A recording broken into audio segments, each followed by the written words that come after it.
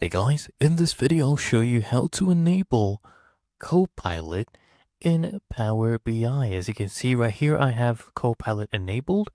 And all you need to do is open your Power BI desktop, come to the top left, click on File, okay?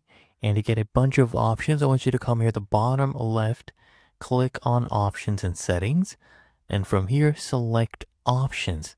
And once Options opens up, what we'll do on the left hand panel, we'll go ahead to previews. Okay, so let's wait for this to load up. So here under global, look for preview features, right? And then I want you to scroll down. Now here, if we scroll down, you'll see these options. Write DAX queries with Copilot. This one I already have it toggled on.